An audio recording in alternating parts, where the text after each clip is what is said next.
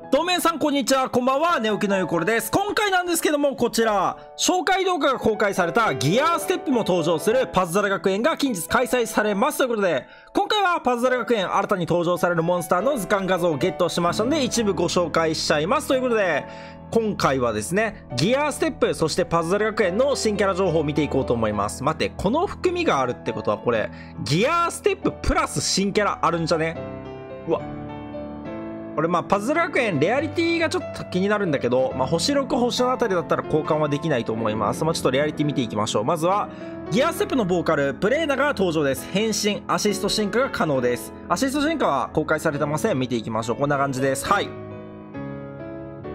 6レアリティ6ってことはガチャ限定なんで、まあ、やっぱりあのあれですね。あの竜愛少女と一緒でガチャ限定のまあ集金イベントではある。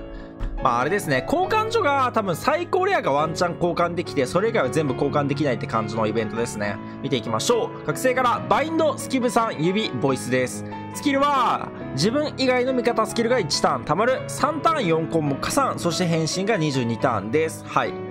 なるほど。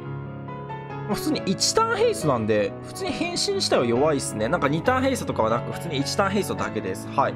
最近のキャラにしては珍しいね。最近のキャラ2ターンヘイスト、3ターンヘイス多いんだけど、プレナは1ターンヘイスのみです。まあ、その代わり変身後見ていきましょう。変身後こんな感じです。バインド、指2つ、ガドブレ、5色攻撃4つ、ボイス持ちです。はい。まあ、そうですね、5色4つ持ってるんで、火力が4.5の4乗か。4.5の4乗なんで、倍率としては410倍。うん、なるほど。で、だからあれですね、あの結構、通常ダンジョンとかにおいてはもう乾燥絶対するし、まあ、超重力は武器つけたらワンチャン、雷神武器とかつけたら火力出せますね。スキルはドロップロックを解除、全ドロップを5属性プラス回復に変化が2ターンです。はい、強い。プレーナ2体入れてあげたら、ロック解除生成ループができるんで、多色においてはかなり強そう。リーダースキル5色同時でダメージを激減、攻撃力が28は4コンボ加算、マシンタイプの回復力が4倍です。はい。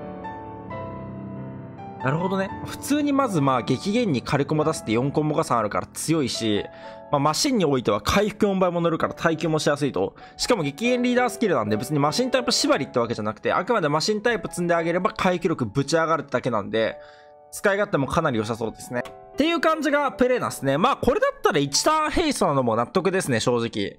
これが1ターンヘイストな理由はやっぱり変身後のスキルがもう破格に強いから、だと思います。はい。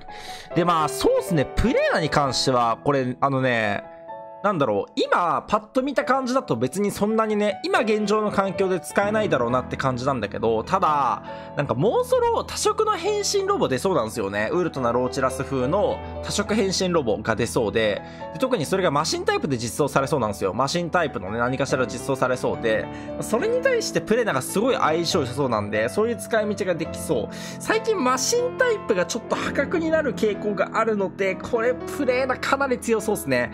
まあ、5色攻撃4つで、まあ、火力も最低限は出せますし、何よりロック解除生成があるので。で、最近の環境ってさ、別にさ、なんていうの、長寿ロック環境1体火力出なくても全然いいから、プレーナ自身がそんなに火力高くなくても、ね、リダフレとかで火力出せるキャラが実装されれば十分なんで、まあ、そういう編成においてもロック解除ループはかなり使えそうですね。まあ、個人的にプレーナは相当強いと思うので、結構期待値高いです。はい。っていう感じがプレーナですね。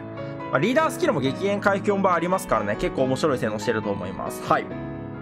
で、続きましてギアステップもう一人のボーカル、シアトが実装です。こちらも変身、アシスト進化が可能です。リアリティは、またしても星 6? じゃあもう完全にもう交換はなさそうですね。はい、見ていきましょう。覚醒。バインドスキブさん封印ボイス。スキルは消せないバインド覚醒無効全回復。あ、また1ターンヘイスト。で、えー変身って感じになってます。えー、また1ターンヘイストなんだ。結構ギアステップヘイストしたら弱いな。ってことは変身後相当強いのかな見ていきましょう。変身後です。水光、ウルトラ編成か。覚醒。バインド封印10強2つ。2ウェイ8個。ボイス持ちです。これ見てる感じウルトラで使えそうなんだけど。さあ、えっと、スキルです。あ、でも冬ないからあれか。スキル。1ターン回復と水の攻撃力が1.5倍。消せないドロップバインド覚醒無効全回復が5ターンスキルです。はい。うん、なるほどね。まあ、普通にまず、ちょ、なんだ、なんだこれ。えっとね、消せないバインド覚醒無効全回復5ターンはまあ強いし、回復水の攻撃力1.5倍変わるのも悪くはないか。10強2つ 2day8 個ってどんぐらい軽く出るっけ？まあまあ軽く出るんだっけ？どうなんすかね？と、ニューガンダムが10強2つ 2way2 個の冬持ってるんだよね。ってことは、それとの差が 2way6 個分なんで、ああまあまあ、かなりでも火力は出しそうですね。上限解放とかはできないけど。リーダースキル、ドロップ4個消して攻撃力が5倍、2コンボ化3固定1ダメージ、マシンタイプの全パラが4.2倍です。はい。っていう感じがシアトですね。まあまあまあまあまあ。うーん、なんかね、うーん、うーんって感じです。はい。え、なんか結構無難に今使うとしたら、ウルフデイトナのサブ、使うとしたらウルトラのサブかな？っていう感じなんですけど、なんかそんなにめちゃめちゃ強いわけじゃなさそう。あのね、いや、めっちゃ強いの。めっちゃ強いんだけど、めっちゃ強いけど、現環境においてはもうもはやそんなに強くないレベルになってる気もするんだよな。なんか結構ね、わかんない。ウルフデータのサブで使えそうと思いつつも、テンプレサブにはそんなに入ってこなさそう。何かしらまあ出るんでしょうね。シアトと相性いいキャラが。はい。まあっていう感じがシアトです。まあプレイダーもめっちゃ強いけど、現状多色環境じゃないから、今の環境ではそんな使わないと思うし、まあ新キャラが出てからに期待。多分多色のめちゃめちゃ相性いいキャラ出ると思うんで、そっちが出てから使えると思うし、シアトも何かしら相性いいキャラが出るのかな個人的に今現状シェアとはそんなには強くなそう。ただまあウルフデートのサブに入れてあげたら、結局ウルトナが強い影響でシェアとも活躍してくれると思うんでそういう使い道が強そうですね実際。そうするとめっちゃ強そう。そしてラストノーチラスが姿を変えて登場ギアステップの DJ ノーチラスです。こちら変身アシスト進化が可能です。リアリティは7確定枠か、まあ、とりあえず交換は絶対できない。やっぱり。で確定枠っぽいですけどね。ノーチラスです。バインド、スキブ3、無股間ボイスで、スキルは2ターンダメージ撃減、回復力3倍、全ドロップ強化、変身が24ターンです。2ターン撃減か。いや、マジで交換できたら激アツだったんだけどな。もうパズドライベント自体がもう盛り上がらない理由、交換できないからなんだけど、まあまあ仕方ないっちゃ仕方ないかもうパズドラだし。まあ、そこは期待してないからね、しゃあないよね。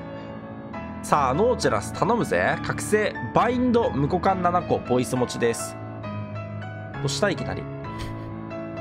どうした？ん話聞こうか？無股間7個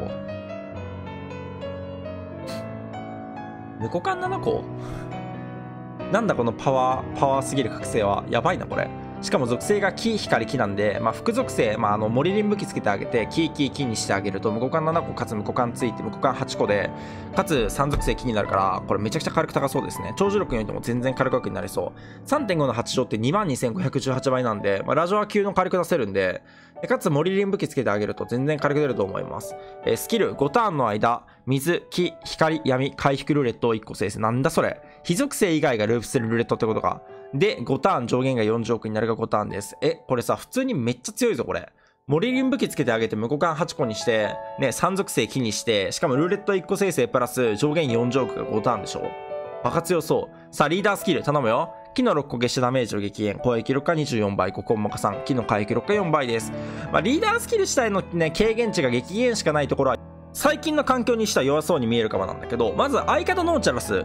積んであげると、言うて半減激減があって、しかも回復4倍ノーチラスが持ってくれてるから、ノーチラスの回復力ないところをね、補ってくれるんだよね。だから、ロボのあの2段階変身のノーチラスとこのノーチラスめちゃめちゃ相性良くて、回復力も安定するし、かつ激減半減もあるから、耐久値もかなり高いわけよ。で、何よりさ、多分みんなこれ見てね、ウルフデイトナは全 HP5.2 倍だとか、ロイヤルノーチャラスは全パラ5倍だとか思うかもなんだけど、結局最近のね、そういう最強ロボって軽減スキルないわけよ。だから割合にめちゃめちゃ弱いって話をもう散々してると思うの。で、最近軽減のキャラがどんどん増えてきてるところからわかるように、近々多分そろそろもうグラビティ地獄が来ると思うんですね。で、ああいうウルフ、ウルフデータとかロイヤルノーチラスは結構対策されていくと思うんだけど、このノーチラスは激減もあって回復4倍の耐久値もめっちゃ高いから、使い勝手は絶対いいと思う。相手のノーチラス進んであげると、なおさら強いと思うし。で、ルーレットループもあるってことで欠損対策もできるわけだから、そう考えるとかなり強いと思います。無股間火力も高いわ、スキルも強いわ、リーダースキルも強いわってことで、これ貴族性また来ますね。まあ、貴族性ただね、組もうと思うとね、結構サブが色々必要だったりしたんだけど、まあでも実際有利とか積まなくてもね、全然回復追いつくと思うし、かなり使い勝手良くなったんじゃないかなと思います。っていう感じがノーチェラスですね。これはかなり強いと思う。でも新しいね、あの、非外を生成するルーレットループも実装されるわけですから、まあまたこれらも実際にね、えー、紹介できればなと思います。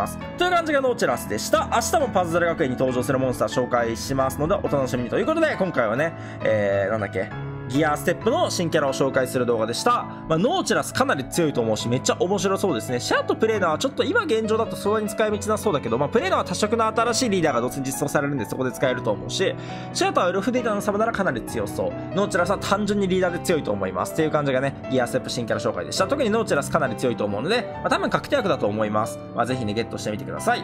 じゃあ、チャンネル登録お願いします。ご視聴ありがとうございました。バイバイ